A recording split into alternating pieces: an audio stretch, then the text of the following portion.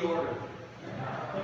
You're worth the order just to see this. Because you know, illustrated message leaves a, a lasting memory, right? So think about this. The bread back then was a little bit bigger and it was a little bit longer and it was puffed up more. But this is the best I can do a short notice, all right? So think about this. Get a picture of this. They bring the five loaves to Jesus, right? And they bring two fish. Aren't nice fish? Huh? So they said, Jesus, we got six, seven, eight, nine thousand people, and you want us to feed them with this? Can you imagine the disciple? You know, they're yeah. Yeah, we got six, seven thousand people, man, and he wants us to feed them with this. And Jesus said, you feed them. Uh, let's see, if we take off a little tiny piece, 7,000 more, we're going to have to take off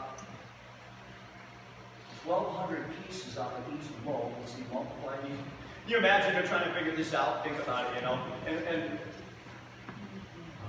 he said, you feed them. Jesus takes it, he looks up to heaven, he blessed it. He said, here you go, guys. Now go feed the multitudes. Here you go. Here's your bread. Can you imagine? You're getting the bread, right? Go feed them. and all of a sudden, all of a sudden, well, here, let's just help everybody. Here you go. Go feed some people, will you? Here he goes. Here you guys. Go feed them. Here's some fish. Watch it.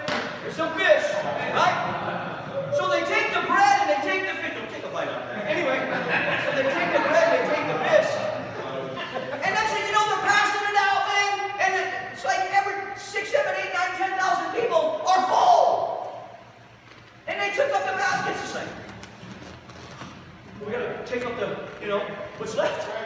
Yeah, the fragments. Think about that. And God says, I want to show you a miracle. Now, what do you think it did to